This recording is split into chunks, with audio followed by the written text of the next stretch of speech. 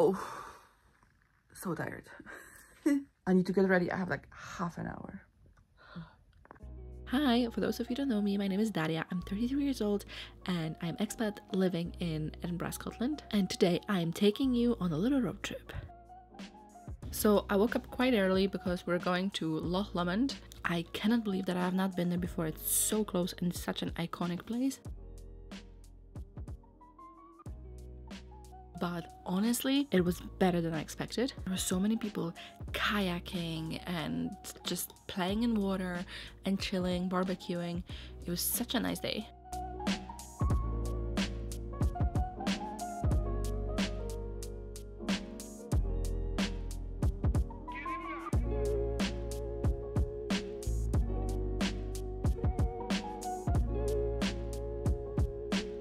It is so warm. I regret not bringing bathing suit. And also, I'm wearing what? Black. it's so nice. It's my first time here. But I love it. Although I wish it would be more sandy because I feel like I'm gonna break my ankle at any point and it's quite difficult to walk. But the water is not cold. I'm a bit surprised because it's only June. Yeah, looks great. We went for lunch when I ordered Caesar salad and Diet Coke. Oh my god, if you know, you know. The best combo.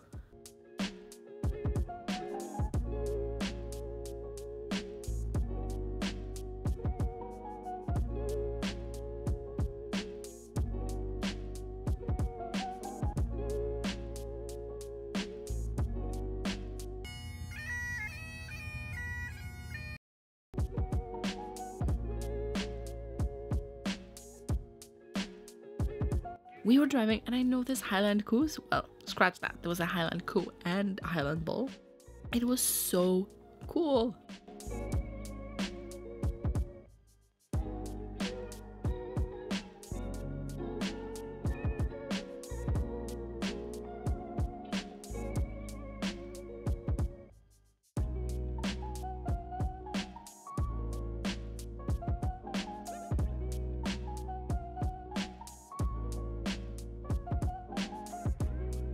I love that sign. Beware of haggis, keep out. So basically, there's like this ongoing joke about haggis that uh, it's real. It's an animal that you hunt in Highlands.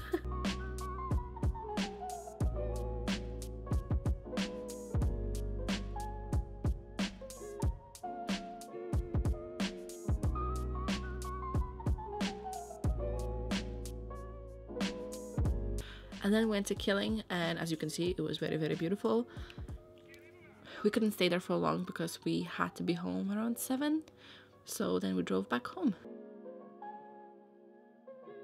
Oh my god so we had all the problems. I think that was one of the most difficult car rentals i've ever experienced. So we booked um, this rental car. Um, i don't remember the name of this app. So basically the way it works you book a car um, through this app and then you go and pick it up and you open it with the app and each time you need to like start the engine or something you, you need to like use the app to do that. And Valentina went to pick up the car and she couldn't get inside um, and she contacted um, customer service. And they said that this car is broken and you need to call them each time for them to like open the car and then start the engine and all of that. And we were going up north when there's no signal and they kept insisting oh it's gonna be okay it's gonna be okay. But like no. So we've decided not to book this car and they give us the money back and then we booked it online with the car rental place. Um, so we went to the airport to pick up the car and then it turns out they canceled the booking for some reason um, because we booked through like third party not through them and they said for security reasons whatever that means and then we had to wait for like another half an hour like it was just whole thing and we're supposed to leave at 8:30 in the morning and eventually we left at noon. So basically we only had like half a day there because we had to be back in Edinburgh around like 6:30 because Valentina and her friend they had dinner plans. Which was okay for me because I could chill. Um, but yes I honestly would not use that car service again the first one that I opened with the app yeah, if, if you want to like drive here in Edinburgh, go to Glasgow, yes, fair. But if you want to go like to Highlands or whatever, I don't think that's a great idea because imagine being stuck there and having no signal and the app doesn't work. No, no, no, no, no, not for me. But other than that, I had such a lovely day. The weather was just amazing and I was very, very angry at myself that I didn't bring any like swimsuit because I could have gone into water like 100%. It was not cold. Um, it was like 26 degree.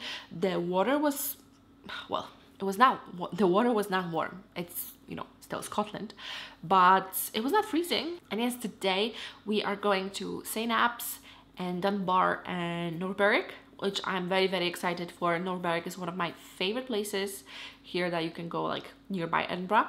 I love the beach. I really love the beach and it's I'm gonna of course take you with me. just gonna change my clothes and there we go. Come on. First stop St. Abbs. I just love coastal towns. I love them, love them, love them.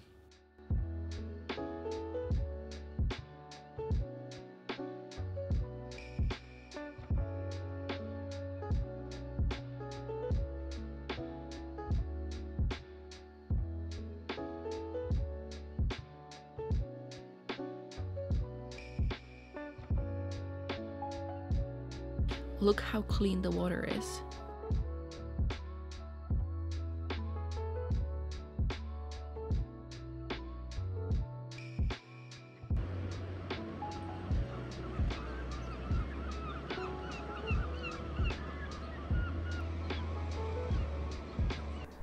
It's so beautiful. I have this story in my head about like moving to a place like that and falling in love with beautiful fishermen. I think I should write a book about that.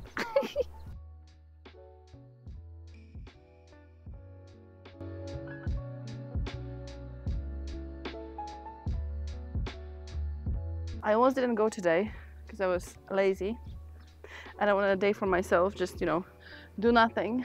But I really, really, really like it. I'm super happy that I came here.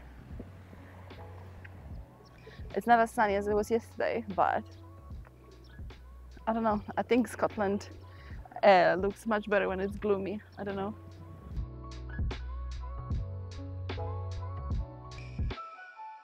You can go all the way there, but we don't have time because we're meeting our friend in Dunbar and then we need to go to South Ber- uh, North Berwick.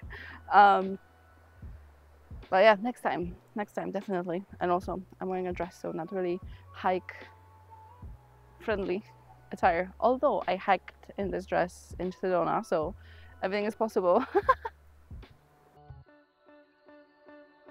then went to Dunbar. It's very very cute town or village. I'm not actually sure, but the, I don't know what happened. But the smell on the beach, oh my god, it literally smelled like rotten fish.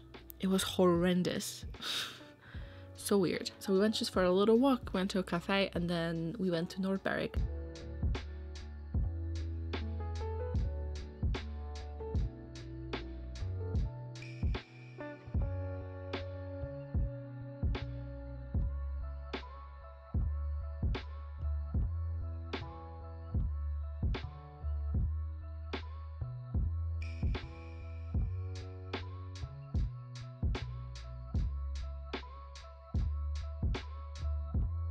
Tide was very low. I always confuse low and high tides. This was low, right?